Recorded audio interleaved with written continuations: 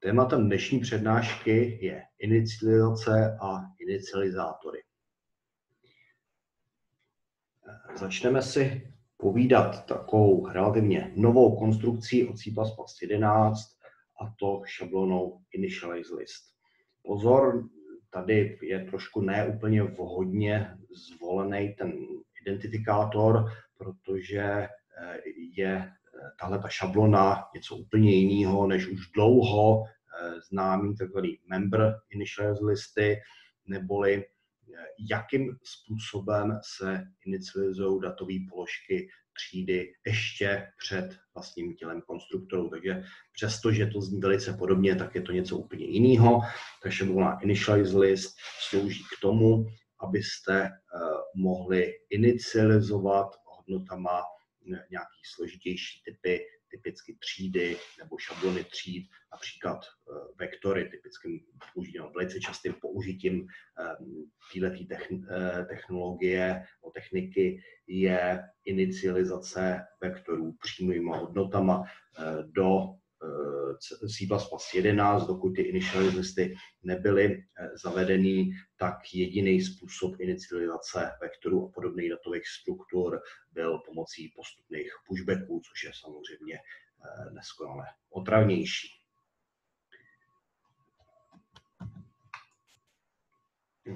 Ty uh, initialize listy lze použít samozřejmě i ve vlastních třídách, pokud byste chtěli mít nějakou vlastní třídu, která je inicializovatelná libovolně dlouhým seznamem, tak se to udělá velice jednoduše, velice snadno, kdy jako parametr konstruktoru se eh, vezme eh, právě eh, ta určitá šablona a mm, můžete buď přímo tuto šablonu předat nějakému kontejneru, který, který máte v, eh, ve vlastní třídě, anebo to použít přímo buď v těle konstruktoru nebo v těle libovolné funkce, protože ta šablona initialize list se chová velice podobně jako ostatní kontejnery, čili má na sobě begin, end, můžete ji iterovat a tak dále.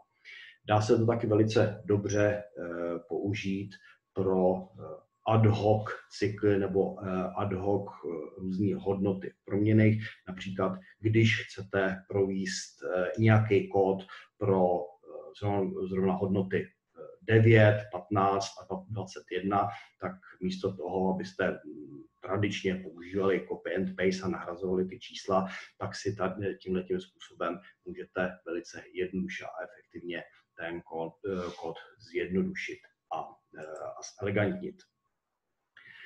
Další takovou částečnou syntaktickou uh, libůstkou je tzv. agregátní inicializace. Uh, agregátní uh, inicializace znamená uh, možnost inicializace jednoduchých polí, struktur nebo tříd bez nutnosti psát vlastní konstruktory.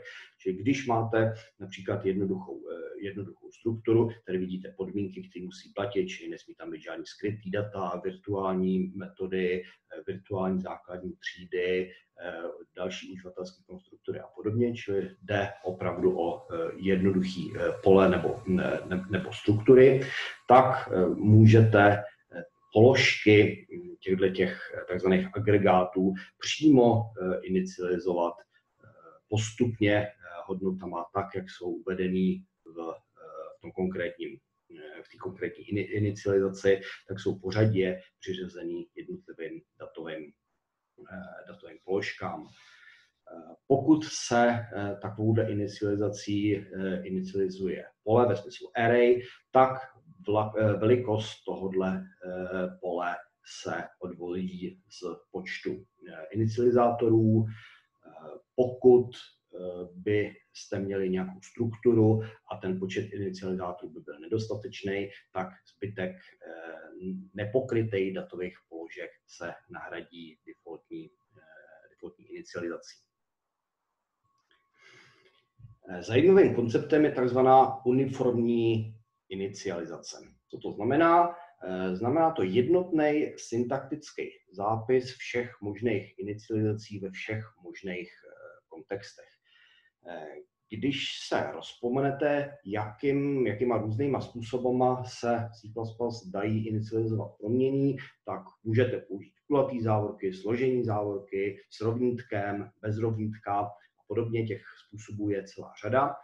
Eh, různě se jmenují, eh, ty různé způsoby jsou v mnoha kontextech ekvivalentní, ale to, co je eh, nehezký nebo nepříjemný, tak to je, že nejsou ekvivalentní všude. V některých kontextech nějaký způsoby syntaxe, syntaxického zápisu nejsou povolený a některý se dokonce chovají, chovají různě. No a ten koncept uniformní inicializace spočívá v tom, že by bylo vhodné používat jednu, jeden druh syntaktického zápisu ve všech možných eh, kontextech. No a právě proto byl, eh, byla zavedena tzv. složenicová eh, inicializace, braced initializer, který umožňuje ve potenciálně všech možných kontextech jednotný zápis. My jsme si ukázali, co všechno to vlastně znamená, nebo co nám to, co nám to přinese. Tak si představte několik různých případů. První případ je, když máte nějakou, eh, nějakou třídu a máte tam eh, integerový eh, datové položky, tak ty můžete beztrestně inicializovat jak pomocí rovnítka, tak pomocí složených závorek, ale nemůžete ze syntaktických důvodů to inicializovat kulatýma závorkama. To by kompilátor neskompiloval a vydal by hlášení, protože mu to koliduje s deklarací. Jiný problém jsou nekopírovatelné objekty. Když například máte eh, konstruktor, eh, konstruktor explicit, tak nemůžete eh, přiřadit, nemůžete použít inicializaci, která je zapsaná ve formě přiřazení. Zase kompilátor vyhodí, vyhodí chybu jiný způsoby eh, s kulatýma závorkama, se složenýma závorkama v tomto případě fungují bez problému. Další problém jsou takzvané zeštíhlující konverze, narrowing conversions. Co to je? Už z dob Eh, starého Kernigenovského C je možný inicializovat hodnotu proměnou nějakého typu výrazem, který, eh, který je jiného typu, ale ten typ je větší než původní integer. Tady na našem eh, příkladě ABC jsou reální hodnoty. Z těch reálných hodnot existuje konverze do integeru, ale dojde tam Eh, k nějaký ztrátě informace, ztrátě přesnosti, ztrátě desetinných, eh, desetinných míst a podobně. Což nemusí být eh, vždycky žádoucí při nějakém přehlídnutí toho, že se vlastně jedná o různé typy, by ta ztráta informace mohla být nevhodná. Kvůli zpětní kompatibilitě, ale tahle ta narrowing konverze při inicializaci musela být zachována. No a jelikož ta složenicová inicializace je eh, nově eh, zavedený eh, koncept nebo no, nově zavedená syntaxe, tak u té složenicové syntaxe je právě ta zeštíhující konverze zakázaná. Pokud byste něco takového chtěli, tak můžete explicitně překástovat ten výraz, abyste explicitně v tom zdrojáku dali najevo, že víte, že se to zeštíhluje a že jste si toho vědomí, že vám to nevadí. Další problém je eh, takzvaná most vexing parse, neboli nejotravnější parsování, který spočívá v tom, že kdykoliv jakýkoliv eh, zápis může být chápaný jako deklarace, tak vždycky musí být eh, interpretovaný jako deklarace.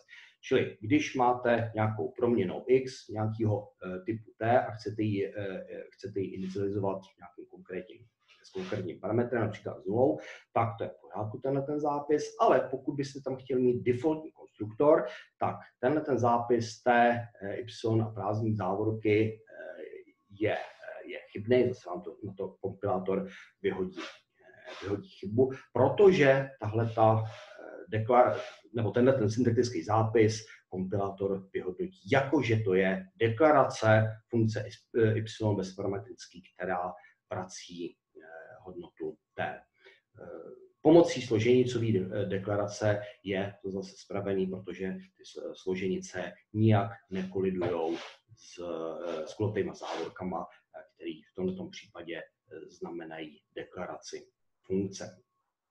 Takže díky všem těmto těm a jiným podobným dalším eh, příkladům eh, je vhodný jednotně používat tu složenicovou syntaxi eh, pro inicializaci, protože řeší tyhle ty právě zmiňované problémy. Ale samozřejmě C++ je jazyk velký a komplexní, čili tam vždycky nějaká novinka je podmíněna nějakým ale. Uvidíte, že tady v tomto případě ty ale jsou docela, eh, docela závažní, docela silní.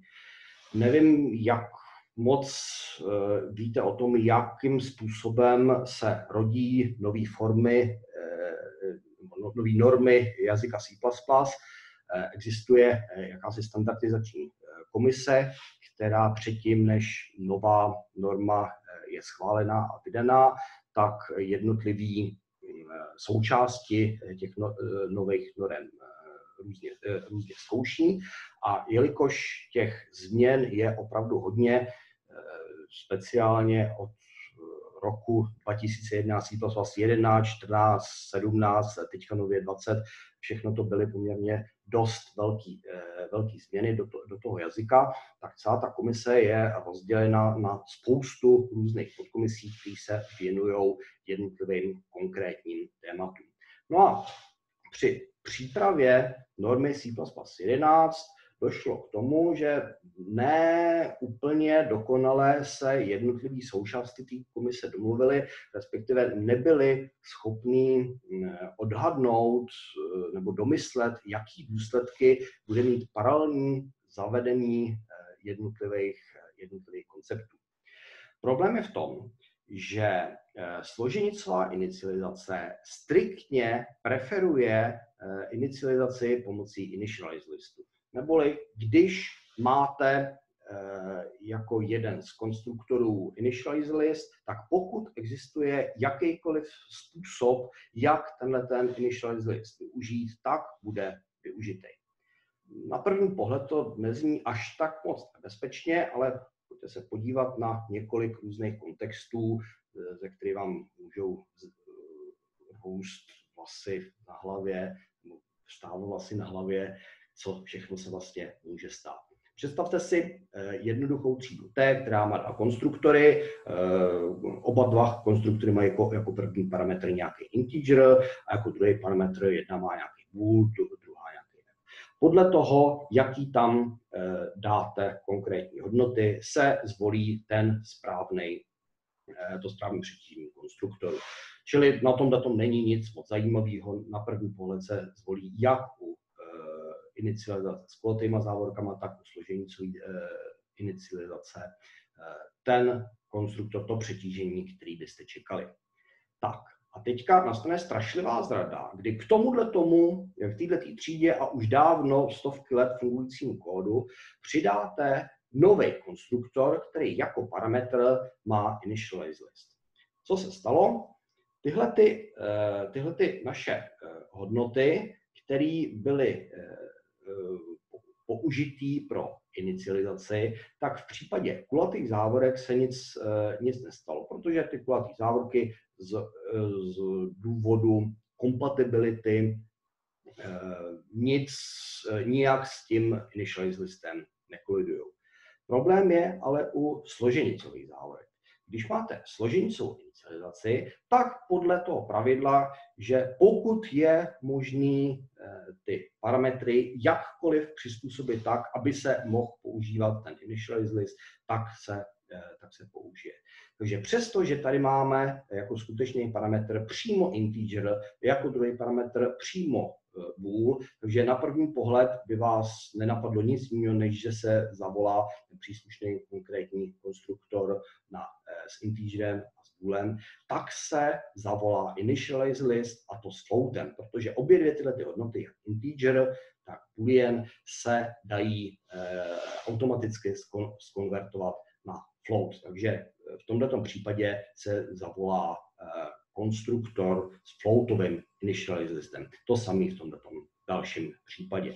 Takže tady vidíte, že přidání nového konstruktoru do už existujícího eh, kódu může výrazně změnit, eh, změnit chování a použít nakonec úplně jiný, eh, jiný kód, který původní, autoři původního, původního kódu vůbec s tím nějak, nějak nepočítali.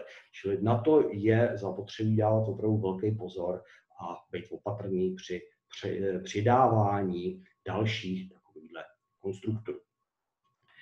Další problém e, může vzniknout, když e, máte nějakou třídu, máte klasický, e, klasický copy konstruktor, jako para, parametr při inicializaci dáte nějakou jinou instanci té samé třídy, předpokládáte, že se zavolá právě, právě tenhle ten konstruktor, ale pokud například eh, máte nějakým způsobem zařízený, že ta třída je skonvertovatelná na nějaký jiný typ, tak eh, vlastně v tomto, eh, v tomto případě při použití složenicových inicializátorů se nezavolá copy konstruktor, ale zavolá se konstruktor právě s tímhletím initialize listem je to velice nečekaný a může to mít eh, ne zrovna hezký, eh, hezký následky. Tyhle ty příklady eh, do posud byly příklady na to, že přidáním nového mm, přetížení konstruktorů se může změnit chování kódu, může se stát i něco horšího, nebo v jistém smyslu horšího, že přidáním dalšího konstruktoru se zneplatní už existující kód. Zase náš příklad se třídou a dvěma přetíženými konstruktory, to, to, to, zůstává, to zůstává stejný. A když jako třetí konstruktor si eh, vytvoříte konstruktor s boolovým initialize listem, tak se existující kód, který byl přeložitelný dlouhou dobu najednou stane nepřeložitelným. Proč?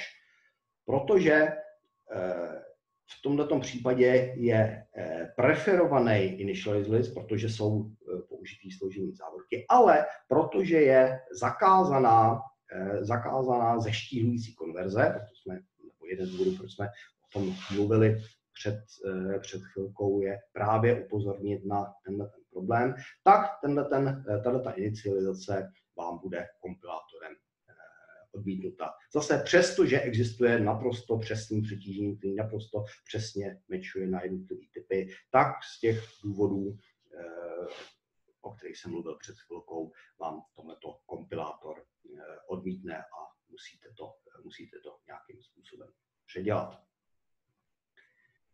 Pokud byste tam neměli uh, initialize list boolu, ale initialize list nějakého jiného typu, například stringu, tak pak už je to v pořádku, protože ty konkrétní hodnoty, které tam jsou použitý uh, v parametrech konstruktorů, nemají automatickou konverzi na string, takže tam vlastně nedochází, uh, nedochází k, ke kolizi, nedochází, nedochází tam vlastně k možnosti nerovin konverzní. V tomto případě tam žádný problém není. Další věc, na kterou je eh, zapotřebí dát si pozor, je trošku rozdíl mezi eh, přímou inicializací pomocí složenic a když tyhle ty složenice dáte do závorek, je celkem jedno, jestli do kulatých nebo zase, zase do složených závorek, pokud eh, ty složení závorky ještě jednou uzavřete, vždycky to znamená prázdný seznam a vždycky se zavolá initialize list. Pokud to tak neuděláte, tak eh, kulatý závorky nemůžete použít vůbec, protože eh, z důvodu most vexing parse je tenhle ten syntetický zápis považovaný za deklaraci a v případě složených závorek jde o volání defaultního konstruktoru. Tak, jaký jsou důsledky těchto těch všech, eh, všech problémů? Velice známým důsledkem je špatný nebo ne zrovna intuitivní, ne zrovna očekávaný chování běžných eh, kontejnerů, jako je například vektor. Když vektor inicializujete, eh, máte vektor integerů a inicializujete ho dvěma dvěma integerovými hodnotama, tak ta první hodnota znamená počet těch prvků a ta druhá hodnota znamená hodnotu každého, každého toho prvku. Čili vektor s kulatou inicializací 3.1 vyrobí tři jedničky. Když to ale změníte na složenicovou inicializaci, tak jelikož ta složenicová inicializace automaticky preferuje initialize list, tak se z těchto těch argumentů vyrobí vektor s hodnotama 3, 3 eh, a 1. Eh, Tohle z dnešního pohledu je považovaný za špatný návrh, eh, špatný návrh rozhraní. Ta třída, nebo přesně řečeno šablona třídy měla být udělána tak, že v případě, že by kolidoval typ nějakého pevného parametru s tím šablonovým Eh, šablonovým parametrem s těma eh, typama hodnot, které tam jsou, eh, jsou schovaný, tak se to musí udělat nějak jinak, šikovněji. Za chvíličku si řekneme, za, za chvíličku si řekneme jak. Velice podobný problém je u stringů. Pokud string inicializujete takovým způsobem, počtem a jednou konkrétní, konkrétní hodnotou, tak se vám vyrobí 33, nebo ta konkrétní, tenhle konkrétní Eh, počet těch zadaných, eh, zadaných znaků. Pokud byste to ale inicializovali složenicovou inicializací, tak se vám vyrobí vykřičník a hvězdička, protože 30, 33 eh, je zrovna ASCII kód vykřičníku. Pokud byste tam měli nějaký, nějaký jiný číslo, tak byste se asi mohli dožít docela zajímavých překvapení a docela dlouhého ladění, co se vám tam vlastně přesně stalo. Další drobný problém může být u lexikální analýzy Maker, pokud jste někdy používali makroassert eh, na kontrolu toho, že nějaký, eh, nějaký eh, výraz je pravdivý nebo nepravdivý, tak to makro, makroassert po, požaduje nějaký konkrétní výraz, když ale ne, nepoužijete kulatý závorky, ale složenice, tak syntakticky tato čárka eh, je eh, v rámci definice makra považovaná za čárku oddělující parametry a kompilátor vám zase za to vynadá. Eh, na tohleto, když víte o tomto problému, tak je poměrně jednoduchý ho spravit celou, celý tenhle ten výraz dáte do závorek a ten parasér už si s tím poradí. Eh, jinak tohle, co jsme si ukazovali, nebyly zdaleka všechny ošklivé eh, případy. Eh, je celá řada krajních, krajních nebo kombinovaných situací, kdy se mixují explicitní a neexplicitní konstruktory, defaultní konstruktory s initialize listama a podobně. Pokud byste měli zájem o podrobnější rozpitvání tohoto tématu, tak určitě doporučuji tuhletu, tuhletu přednášku Noční můru Nikolaje Jusutise o inicializaci, kde vás provede eh, tajema, eh, tajemnost má inicializací ještě o něco hloubějš. Tak, jak vlastně, co vlastně s těma těma problémama, které jsme si tady ukázali, je možné dělat? Tak, Především je nutný poznamenat, že ta uniformnost není vždycky uniformní, ne vždycky se eh, ty inicializace chovají tak, jak by eh, běžný uživatel čekal, přestože pro kompilátor je ten zápis naprosto jednoznačný, tak lidský čitatel, lidský pisatel takovýhle zdroják už to může být docela zmatený, jak bylo právě vidět na těch předchozích ošklivých, eh, příkladkách. Pravidla pro autory eh, rozhraní hm, speciálně konstruktorů tříd a hlavně šablon tříd by měly být takový, aby nikdy nezáleželo na tom, jestli klienti použijou kulatý anebo složenicový inicializátory. Krásný příklad je právě před chvilkou zmiňovaný pole, kdy máte nějaký konkrétní typ konstruktoru použitý a potom typ, eh, který je daný šablonovým parametrem. No a pokud se ten šablonový parametr trefí do toho vašeho anytype, tak tam máte krásnou kolizi a tomu je zapotřebí, eh, zapotřebí zabránit. Dá se tomu poměrně jednoduše zabránit tak, aby v případě, kdy použijete konkrétní typ konstruktoru a typ daný parametrem, tak abyste si tam přidali ještě jeden prázdný zbytečný parametr, který bude mít typ nějaký, nějaký tag, aby mm, tenhle ten konstruktor byl jednoznačně odlišitelný od initialize list konstruktoru. Eh, pravidla pro eh, klienty eh, tříd a šablon v běžném klientském kódu dneska se považuje za takový slušný pravidlo vždy preferovat složenicou inicializaci. Že přímou složenicou inicializaci bez, bez rovnítek Eh, pokud máte eh, nějaké svoje třídy, šablony, pole a podobně, tak eh, inicializovat je pomocí složených závorek je dneska považovaný za nejrozumnější způsob, jak to udělat. A všechny ostatní druhy, to znamená závorky, rovnítka a podobně, používat jenom tehdy, když je když je to nutné, když je to zapotřebí. A to nutné a zapotřebí může být právě například eh, v případě toho eh, zmiňovaného pole, když chcete eh, nějakých N položek nějakého konkrétního typu. Tam se vám složenice rozbijou, no ne rozbijou, ale nechovají tak, jak byste čekali. Pokud byste chtěli vynutit ten původní, původní konstruktor, tak se to dá dělat pomocí kulatých závorek. Nicméně tyhle ty pravidla nejsou absolutní. Celá eh, řada profesionálních vývojářů pro primitivní typy typu integer, bool a podobně eh, radši používá tu rovnítkovou eh, syntaxi z toho důvodu, že to je zase podle této množiny vývojářů jasnější, názornější, líp to odpovídá jiným podobným programovacím eh, jazykům a podobně. Eh, nejhlavnějším důvodem, ale zřejmě to, že na to jsou zvyklí a že eh, tako, takovýhle kódu existuje celá, celá tuna a není úplně nezbytný celou tuto kodebase předělávat na složenicovou složenicovou inicializaci. Tak a na závěr si ukážeme eh, ještě dvě eh, takové tabulky. Eh, tady v této první dvojtabulce vidíte různé způsoby syntaktického zápisu inicializace, inicializace integerových promění.